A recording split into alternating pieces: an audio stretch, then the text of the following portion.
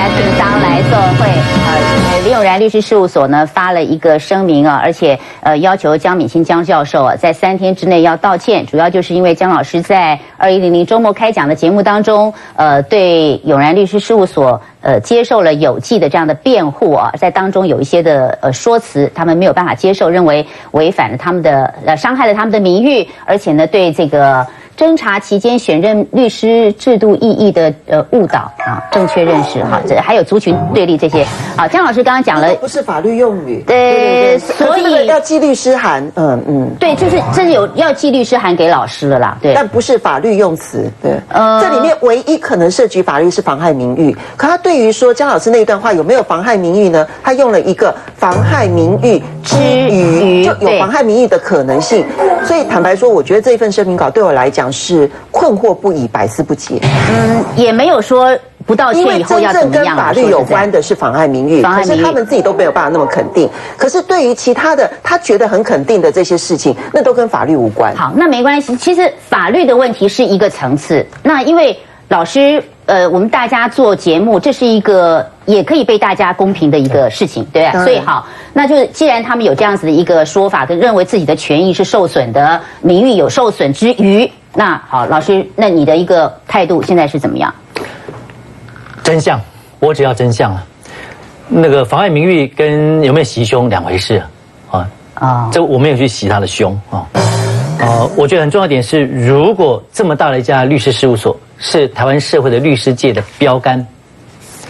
如果他们是被误导，然后被马 Q 骗，做出这样的声明稿，说要去告那个林姓司机，那我觉得他们被误导。我们在二月四号那天，我们并不知道，只有看到那份声明稿。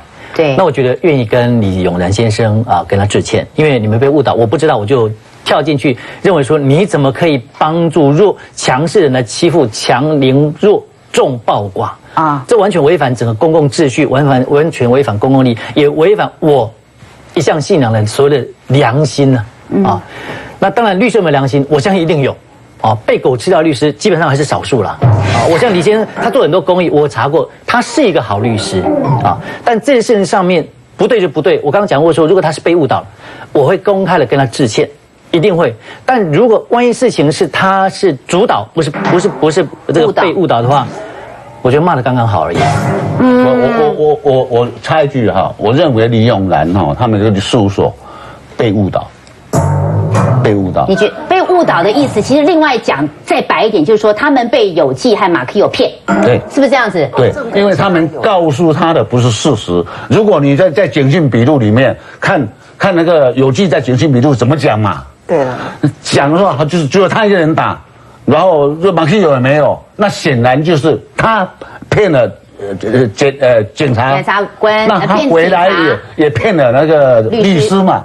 所以一个律师哈，他假如知道马克有根本就是共犯，他不会给他写那个声明，然后又开记者会，不敢这样做了。真的。所以你是觉得误导的？我我觉得误导成分大，但是因为这个事件是发是在逐渐发生的，真相一直慢慢浮现的嘛。所以第一天发生的时候。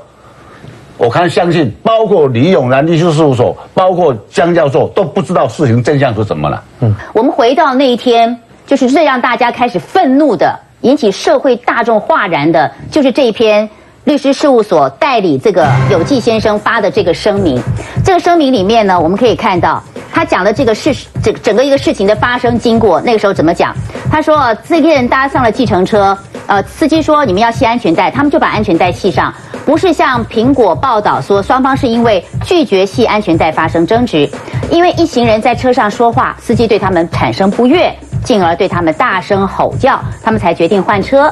因为已经跟司机先生在车上发生口角，所以在决定换换车以后，司机先生更加不高兴，出手挥打到了马奎欧的胸部。这样的举动让有纪认为应该为女生主持公道，才要求司机先生下车说明。两人言语不通，沟通不良，所以有纪用日文争执，司机用中文回应，引发了肢体冲突。好，对这件事情呢，有纪很抱歉。那但是报道中讲说，司机先生的妻子说，呃，有纪呢在离去之前还用前脚强压司机的头部，扭动几下，这不是事实。有记在双方争执当中，自己也被司机踢到了左腿，也有验伤证明。但是有记认为，如果此事双方能圆满和解，并不会对司机提出刑事伤害罪的告诉，并且期盼此事有圆满的结果。好，这是彭律师给他代为发表的声明。所以现在回头去看一下这份声明，所有的过程全是谎言。当然是被误导。如果否则的话，律师敢帮他这样写，他宁愿不写，宁愿不写这个函，他都不会帮他写这么假的，没有必要嘛。其实他自己是个律师，他可以看到他当事人的状况，去对照被害人的状况。对，然后你去发表了这样子的一部分说。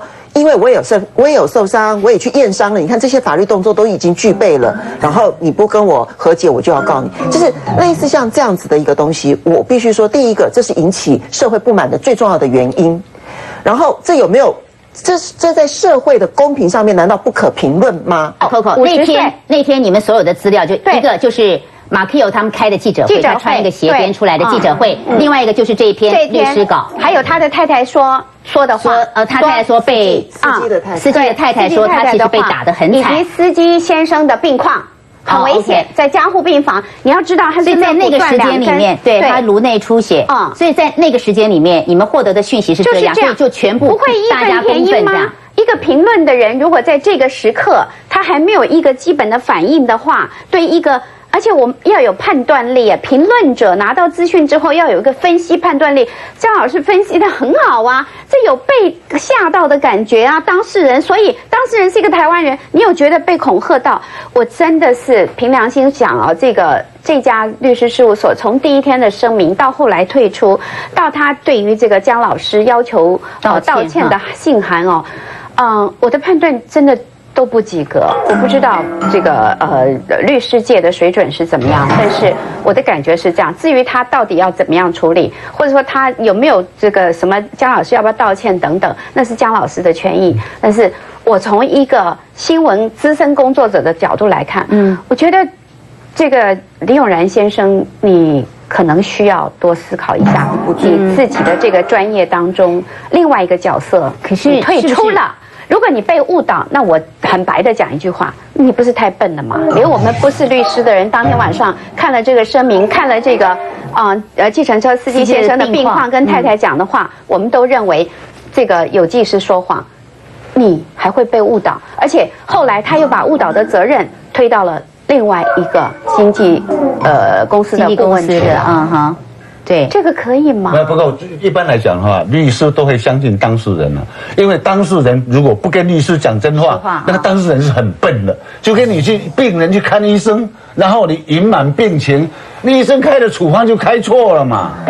怎么怎么会这样子呢？所以我是认为他后面的处理是不对的，因为。不成比例嘛？你脚被踢了一下，然后你那住家护病房，住家护病房，他还你讲这个，你当然先去道歉呐，想办法把它和解啊。这个是不是啊？叫做律师用语，就是说哦，我们都我们不追究，我们大家就和解了，就意思是要和解的意思，并不是要威胁的意思。这个在律师的哈老大是不是有这样子？所以，既然你就意思这样的话。你这样写就变成威胁了嘛？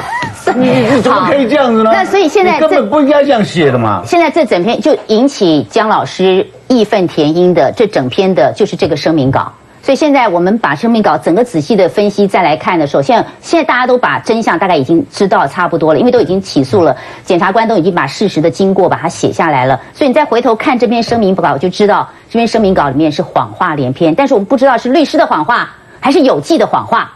所以这个部分，你要要姜老师要要怎么样处理呢？老师，我觉得看到林书豪表现这么好，给台湾这么多鼓励，我们这些上了年纪的还在为这个小事浪费大家的时间，对不起。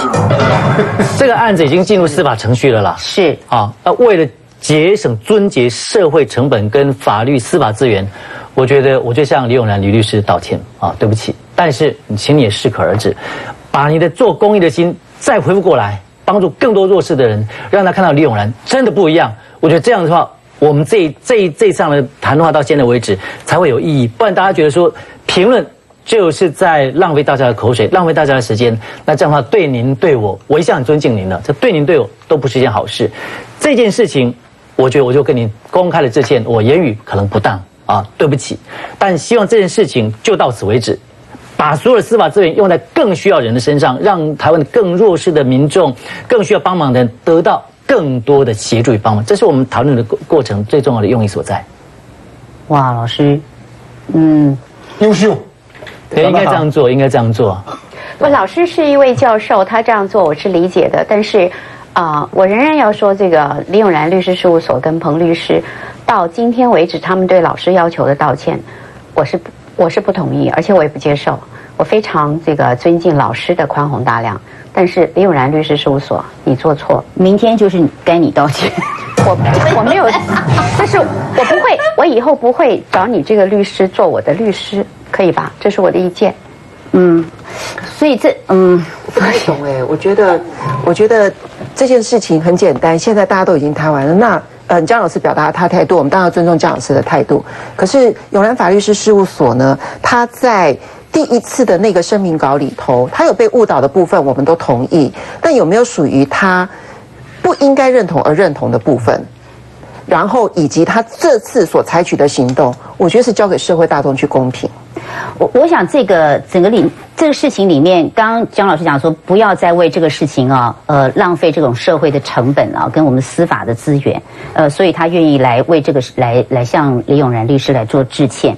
可是我觉得大家也要公平的看待这件事情的时候，就是，呃，整件事情的发生，这个。永然律师事务所是不是有为了他们？我相信他们有被误导的部分，就是老大所讲，他们可能有被误导的部分。但是有没有也是为了有计，呃，帮他做一些法律的规避，或者是社会责任的规避，而给他做的一些这样子的建议？那这些的建议是不是也应该可以受到社会大众的一个公平？他们是不是也可以出来做个交代？对，就算不是他建议的，但是他帮他发这个声明，他接受的。而且他后来还弃之，他后来还弃人家于不顾。我不知道一红，这个从律师的角度来看，你符合专业伦理吗？嗯哼，就我帮你发了声明稿，我也我也，然后社会反应不佳，成为你的辩护律师了。然后因为社会反应不好，其实他的案子还没有结束，然后我就跟你撒尤娜娜。对，这个其实很简单的，就是说李永南他的心里也有数啊。你害我发那篇声明了，其实你是骗我的。我害我发那篇声明，害我蒙受不白之冤，被人家骂，解除委任了。一，我觉得是含有这个意思的。今天我就讲说叫周边有事，因为波及的卷入的啊，这些人都还蛮多的。既然讲到律师的情况，那我们待会再来看哦，还有这件事情里面还有好几个律师哎，我们待会回来。